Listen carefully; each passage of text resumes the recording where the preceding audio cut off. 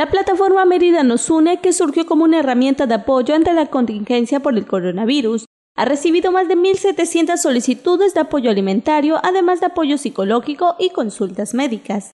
Este proyecto cuenta con el respaldo ciudadano del 65%, además de empresas, universidades e instituciones que se han sumado a apoyar a quienes más lo necesitan, según informó Julio Sauma, secretario de Participación Ciudadana.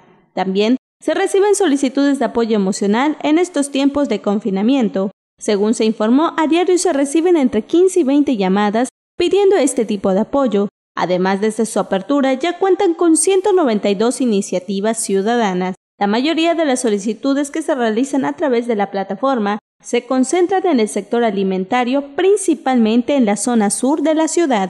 Con imágenes de Walter Manzano e información de Francelipat Notivisión.